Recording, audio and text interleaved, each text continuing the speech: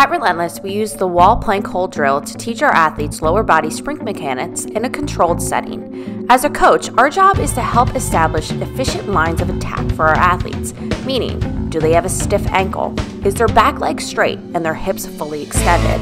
With the static hold, our goal is to instill our athletes the ability to maintain these positions over time. Once they do, it's time to introduce speed in our next drill.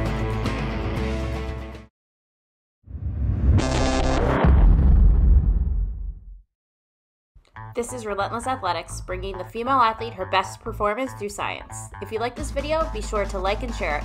Also, be sure to subscribe to our YouTube channel. For more science on female athlete development, check out our website at relentlessathleticsllc.com.